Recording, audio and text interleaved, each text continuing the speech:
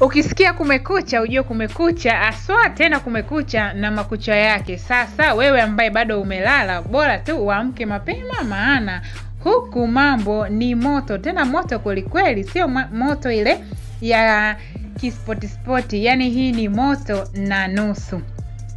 Sasa mtandaoni bwana, mambo yanayoendelea sasa hivi ha, ni mazito haswa. Lile bifu zito baina ya dada yetu wa taifa, huyu dada wa taifa Mange Kimambi na mzee mzima Simba kama Simba Diamond Platinum Nasibu huyu bifu lao bado linaendelea na lilikuwa kufikia sasa hivi ni pazito mno. Hii yote ni baada tu ya Diamond Platinum kuposti katika Instagram yake kat- katika Insta story ameposti kitu ambacho maneno ambayo ameweza kuyaandika, yani kama kuwasema wasanii hivi namna gani vipi. Sasa baada ya kusema hivyo ndipo dada wa taifa akamjia juu na kumpa madongo. Jamani, sio madongo ya kitoto, ila alichokiandika Diamond Platinum akasema kwamba mnapoteza muda mwingi sana kwenye kuchonganyisha wasanii wenu wa Tanzania ili wagombane badala ya kutumia muda huo kuwapromoti ili tukashindane na wenzetu wa mataifa mengine na kuleta heshima katika taifa letu. Aibu. Kisha akamaliza kwa kujitaja yeye mwenyewe Diamond Platinum. Baada ya kuposti hicho, watu wengi wakamjia juu, wengine wakimwambia kuwa ni kweli alichokisema, wengine wakimwambia hakuna lolote anajikosha tu na vitu kama hivyo.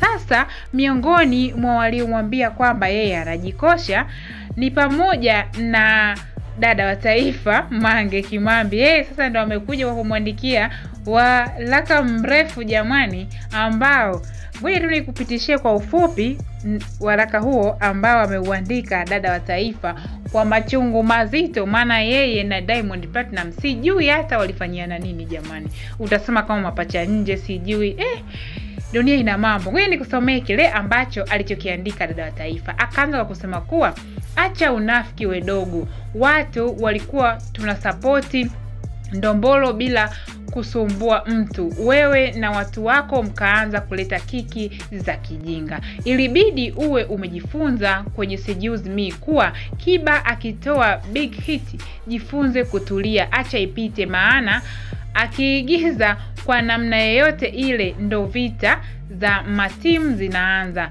na biti la Kiba linazidi kupaa.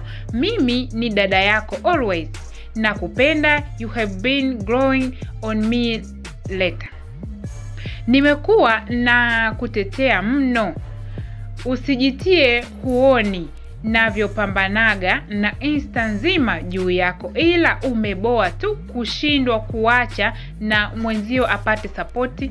Ilibidi ujue uje uvuruge attention tu ili uirudi kwako. Kwanza ulianza kujiposti na demu wako ikabuma, ukaja na gari ukamleta Vani na Paula nao ilibuma. Sasa nyimbo mpya na yenyewe imebuma. Jifunze kupenda mafanikio ya wenzio, pia jifunze ku kutaka na wenzio wawe wakubwa kama wewe. Nigeria hakuna big artist mmoja, wako wengi wakubwa na wote wanakula pesa ndefu. We can do this the same. Hayo ni maneno ya dada taifa akimwambia Diamond Platinum. Akuishia hapo, akaendelea kusema, naomba nikurudie tena, you have made me it you say huna haja ya kupruvu kwa watu, huna hela nyingi, una utatu sijui utafanya mambo gani, sijui utachanika bule. Ndugu yangu, siku ukiishiwa hela ndefu na ukishika hela ndefu, tutakuwa na haja ya kufunga midomo. Mambo ya kujitamba yaache jamani.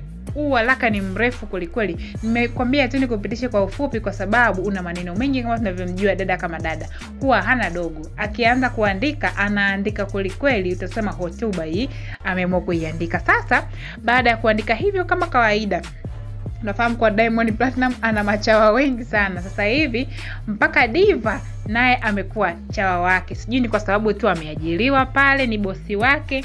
Maana zamani walikuwa na bifu hao, lakini sasa hivi bifu lao limeisha na amekuwa chawa kindakindake, hataki kusikia chochote kibaya, anasemwa bosi wake. Sasa yeye ametoa onyo lake kwa kusema kuwa hasa nisikie mtu yeyote ameweka hapa aliyosema asikie vimoja alivyoweka ni kimoji cha mbwa na panya hapo. Sasa sijui ndo panya nani na mbwa nani, asisikie huyo mbwa na panya yoyote anamgusa bosi wangu Diamond Platinum.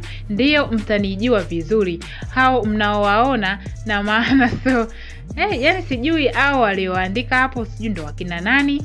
Kwa hiyo ametoa onyo hilo, asisikie mtu anamgusa bosi wake, na bosi wake ametoa ngoma, mmeiona inashika namba moja tayari na mtaiheshimu tu.